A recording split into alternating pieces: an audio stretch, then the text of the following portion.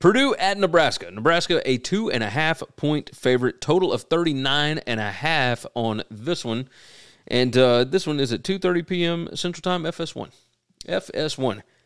Full season numbers. Got Nebraska by 5.98. Uh, and you can start to break down some of these things, right? PPA margin, Nebraska number 61, uh, Purdue number 96. And that all has to do with uh, Nebraska's defensive numbers. They are they're pretty good on defense. Pretty good on defense. Um, offensive success rate, obviously not good. Purdue's is better, but regardless, uh, let's uh, let's take a look at what Purdue does on offense over the full season. Number 93 PPA per pass. Uh, teams like to throw it on Nebraska, but they haven't been good at it. Nebraska's number 42 in the country, PPA per pass allowed, number 54 in passing success rate allowed. So this Nebraska defense actually better at stopping the pass uh, are better at stop. Well, how about this? They're pretty good at stopping the pass, and their numbers are better on defense than Purdue's are on offense, even with Graham Harrell and Hudson Card. Right?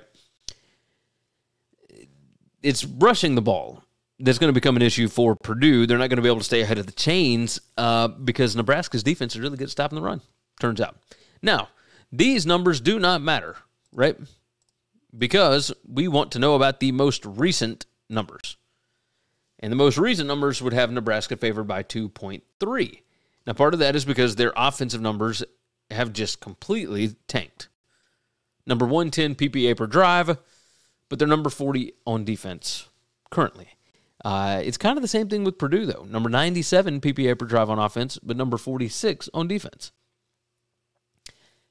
What Purdue does on offense is they want to be able to throw the ball, right?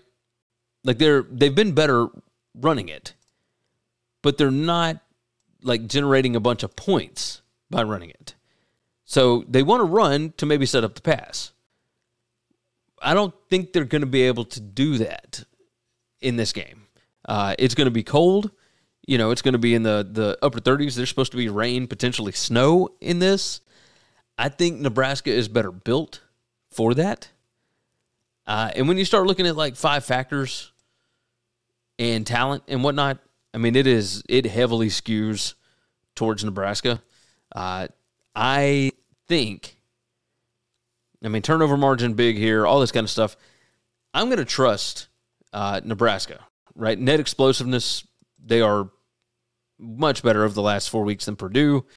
Uh, this feels like a game where Nebraska gets right not gets right. I mean, they've won several in a row here.